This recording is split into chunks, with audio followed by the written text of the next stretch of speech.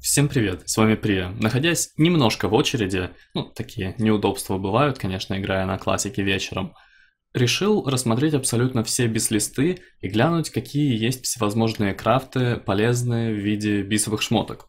Потому что люди давненько спрашивают о том, какие профессии прибыльные, что можно полезного себе скрафтить, как долго можно с этим ходить. Поизучав информацию, нашел для всех специализаций, для всех классов абсолютно всю эту информацию. Начнем же. Начнем с моего любимого Фуривара, так как на текущий момент я им играю, и это знать важно. Суть в том, что контент на классике делится на различные контентные фазы. Первая, вторая, третья, четвертая, пятая, шестая. В разные фазы добавляется разный контент. Например, первая фаза идет на текущий момент. Во второй фазе добавится PvP-контент, то есть там начисление званий и все такое прочее. В третьей фазе откроется БВЛ, логово Крыла Тьмы, где ластом является Нефариан. В четвертом фазе тоже рейд откроется, в пятой откроется, в шестой фазе откроется Накс Рамос, нашествие плети, финальный рейд и все такое прочее.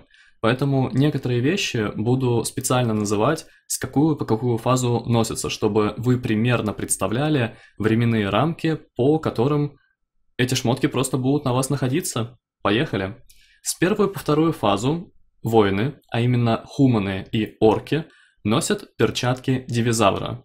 Также носят поножи. Это весьма неплохой сет, позволяющий набрать нужное количество процентов для того, чтобы нормально дамагать.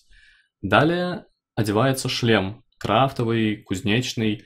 С первую по шестую фазу он носится. Это самый лучший шлем, который только можно придумать. У него прекрасные статы, Крафт хоть и дорогой, но все же он носится абсолютно всю игру, что в принципе оправдывает его затраты. Далее. Варлоки носят крафтовую линзу. С самого начала и потом в рейде ее скорее всего меняют.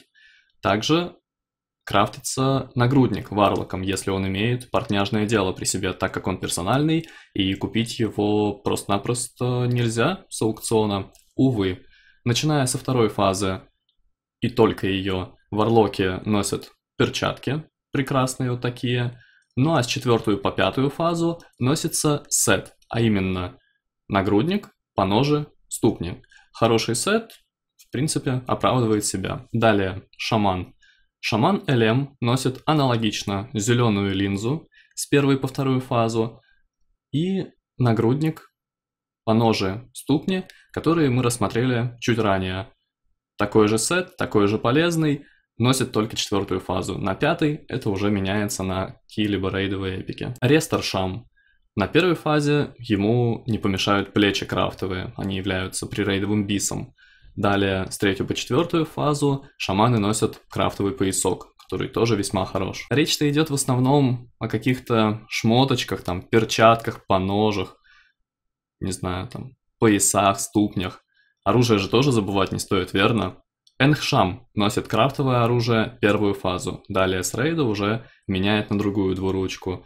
С первой по четвертую фазу носит поножи девизавра, а с третьей по четвертую разноцветные рукавицы, которые увеличивают силу атаки, но также дают там небольшие резисты эти перчатки. Путь разбойника крайне коварен. Есть билд на кинжалах, есть билд на мечах. И если вы пошли по пути кинжаликов, то крафтовый кинжал вам пригодится на первой фазе. Также разбойники носят поножи дивизавра и перчатки дивизавра первую фазу. Далее в рейде уже меняют их. У Холли приста лишь только один единственный крафт является выгодным. Это плащик, который добавляется во второй контентной фазе. ШП. Жрецы, ветки, тьма. С первую по вторую фазу носят зеленую линзу, с первую по третью носят крафтовую робу, крафтовый нагрудник самый обычный. Вторую фазу носят перчатки, которые являются крафтовыми из ткани скверны. Ну а четвертую фазу носят нагрудник, крафтовый. Да, там, конечно, сеты весьма классные, мы его видели раньше, но оно того не стоит. Холи паладины, доступные Альянсу, носят шлем на первой фазе, плащик со второй и только ее. Также поясок с третью по четвертую фазу. Ретри-паладины на первой фазе в прирейдовом одевании – до того, как получат пушечку с рейда, нуждаются в крафтовой пушке. Раконитовый жнец – прекрасное оружие, которое поможет им в этом нелегком деле нарезания мобов. С первую по четвертую фазу ретри-паладины носят шлем львиного сердца. Вары, конечно, носят его подольше, но паладинам он тоже нужен. Прот-паладины носят шлем, вторую фазу, крафтовый, ну а также нагрудник, со вторую по четвертую фазу. Хороший нагрудник, помогающий набрать им нужное количество статов, а именно рейтинга защиты. Маги во время своего прирейдового одевания также нуждаются в зеленой линзе. С первую по третью фазу носят крафтовый нагрудник, который является персональным, поэтому придется взять партняшку, как и чернокнижникам, прокачать ее и скрафтить себе нагрудник. Ну а четвертую фазу они носят крафтовый нагрудник. С этим не нужен от него. У охотников насчет крафтов вообще в принципе все прекрасно. Что им нужно? Перчатки и поножи дивизавра. Далее они просто одевают Т1 с рейда и наслаждаются жизнью с петом. Рассмотрев друида хила, можно выделить четыре вещи. На первой фазе носятся наручи, которые являются весьма хорошими. Также плечи на друида хила весьма неплохие. Лишь только во время второй фазы носится плащик крафтовый, ну а с третью по четвертую фазу носится этот поясок, который неплохо так прибавляет статы и является во время этих фаз самым лучшим. Если вы, конечно, решили поиграть за кота, это похвально, но он также нуждается в некоторых крафтах, чтобы выдать хороший ДПС. Во время первой фазы перчатки дивизавра, с первую по третью фазу поножи дивизавра, с первую по шестую фазу крафтовая шапка.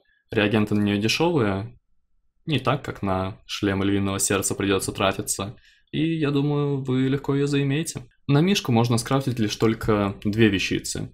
Так как Мишка является танком, ему важны немножко резисты.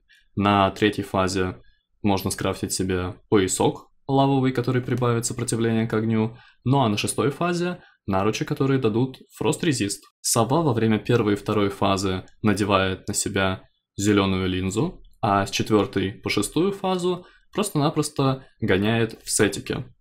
Нагрудник, поножи, ступни, кровавая лоза, ее сет прекрасно вписывается в совушку и дает ей максимальные плюшечки, максимальные полезности от его использования.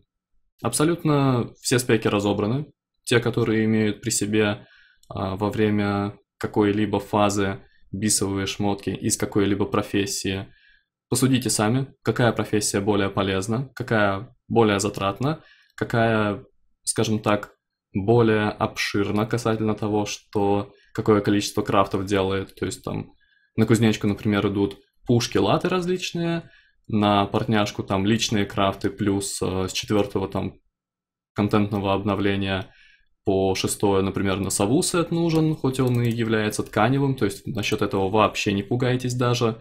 Получается, воины носят кожу-кольчугу, это нормально, будучи дамагерами, так как прибавку за счет правильного использования брони сделали лишь в катаклизме, и все прошлые дополнения использовали абсолютно любой другой тип брони.